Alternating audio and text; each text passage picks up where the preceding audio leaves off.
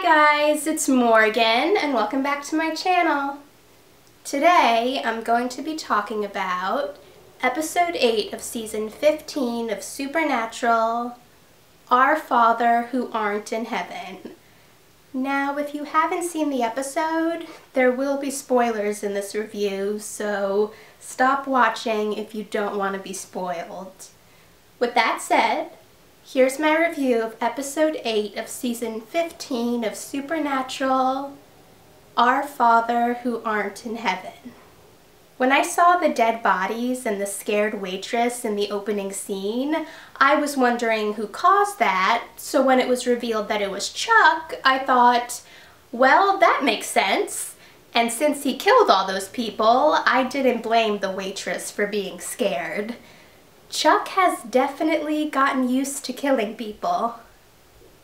I liked how Dean, Sam, and Castiel had Donatello to try and help them think of a way to trap Chuck.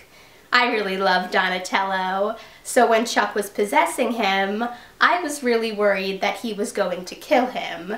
So it was good that he didn't, he just told them to drop it. But obviously they weren't going to do that. And when Donatello asked if anything with Sam, Dean, and Castiel could be easy, all I could think of was, no, no it can't. Right when the voice told the demons to stop fighting Sam, Dean, and Castiel, I was thinking, is that who I think it is? And it was. Rowena is the queen of hell. I was so happy that she came back because I thought it was way too soon for her to die and leave the show. And I also really love that she's the queen of hell. No one deserves it more. When Lilith told Michael that Chuck wanted to see him but he wouldn't go, I was wondering what Michael would do to prevent Lilith from forcing him to go with her. So when he killed her, all I thought was, well, that works. I didn't blame Michael for not believing Dean, Sam, and Castiel when they told him what Chuck has been doing. Michael's loyal to his father. I did like how Adam tried to get Michael to see that he might not really know his father, but Michael wouldn't believe it until Castiel showed him what Chuck has done.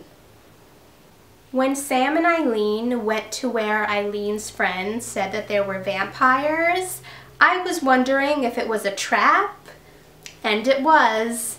Chuck was pretending to be Eileen's friend, and since Dean and Castiel are going to Purgatory, it'll be a while before they realize that Sam and Eileen are in trouble.